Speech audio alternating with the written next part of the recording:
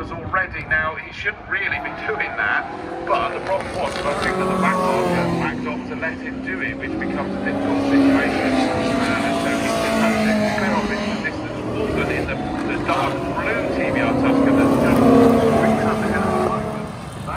uh, the third place, and in fact, the red TVR Tuscan, number 25 Thompson's trying to close in on him as well. Yeah, that is. Uh, this was Right, TVR Tuscan's coming through Paddock Hill bend. Now that is uh, fourth position, a battle for third place as they're trying to get through the lap traffic. So getting up on the inside there of the orange car on the inside of Surtees uh, was Walden. Tried to use that as an opportunity to try and gap uh, Thompson behind him. And I notice as well that we've actually got the uh, the, the 61 car that was uh, nothing like it. pretty and that is the more classic look in the TVR Griffith that uh, is, is trying to just gone across the line now and about put a lap on the uh, the orange TVR. Doing that now, you can see that that car between the blue and red cars. And we were just talking about, I feel like a Milky Way out now. About the chocolate.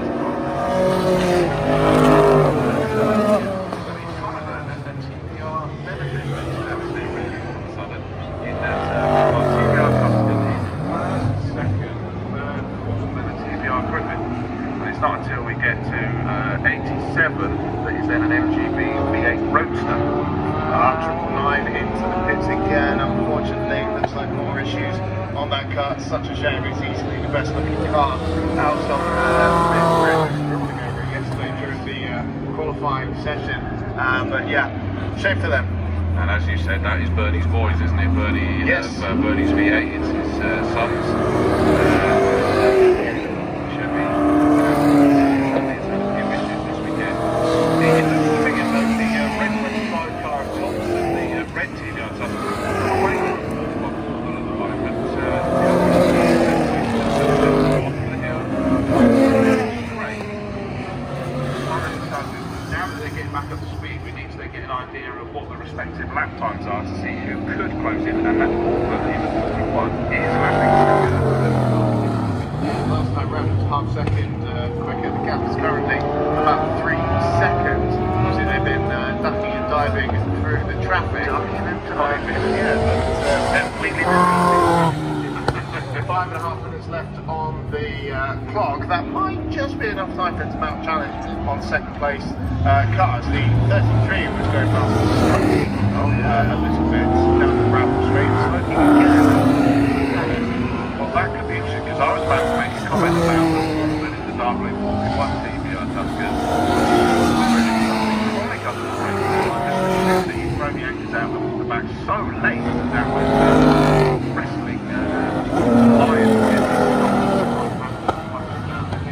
But maybe there's some food coming out of the back of that. Uh, looking at the uh, the, uh, the cameras on the big screen, it, it looks more like a bodywork being rubbed against the tyre. Well, it went off through the gravel.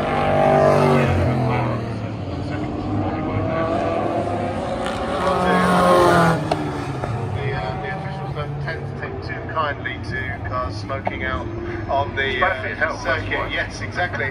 Looks okay coming past uh, Bradford this time round. Away no, it's there, and I think that's therefore you're right. because it's loaded. Takes the, that left rear corner of. It's going to be going through right.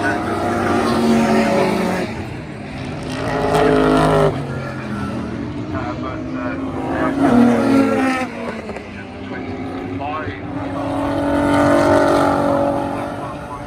yesterday's kind of settled into Matthew Ellis, number 57, crosses the line, completes his 17th lap with just under four minutes left to go.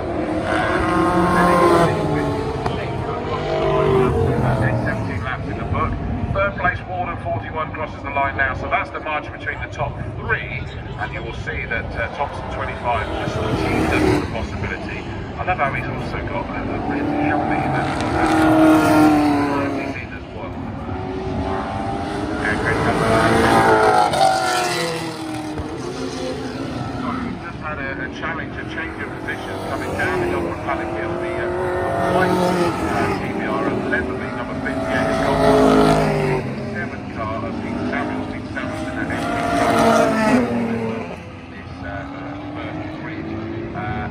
Netsby, of course, had uh, had an issue yesterday.